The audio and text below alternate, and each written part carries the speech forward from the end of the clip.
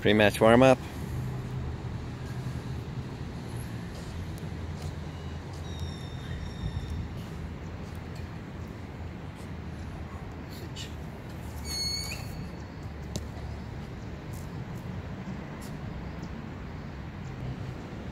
Big semi-final match today.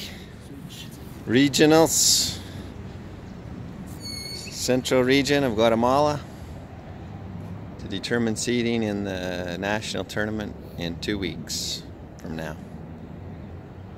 Tennyson qualified yesterday for the national tournament with his win yesterday over Roman.